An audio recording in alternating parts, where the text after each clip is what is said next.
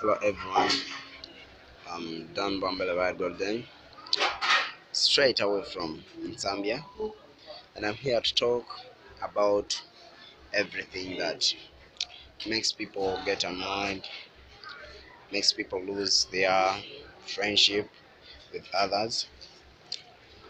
You may ask yourself, where is Nsambya being found?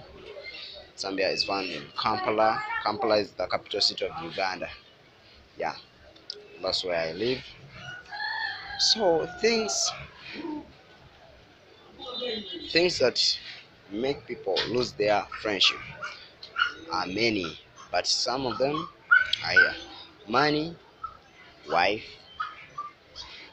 After getting money, some of the people, the majority, they become selfish. They forget that they have ever been badly off, meaning that they had no